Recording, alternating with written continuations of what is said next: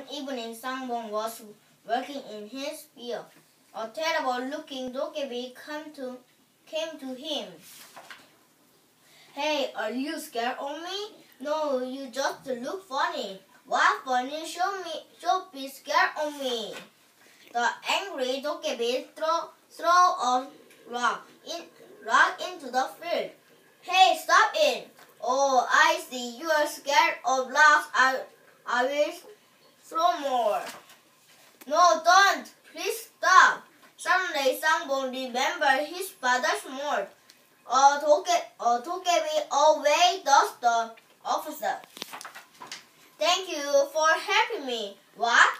I, I am going to build a house here. I need lots of logs. Please keep throwing logs. You are not scared of logs? No, not at all. Then what are you scared of? of doggy poo, Doggy poo. Alright. Hey, what are you doing? Oh, please don't. Moon come, came. Ah, uh, thank you, Dokebi. The poo will help my little sheep grow.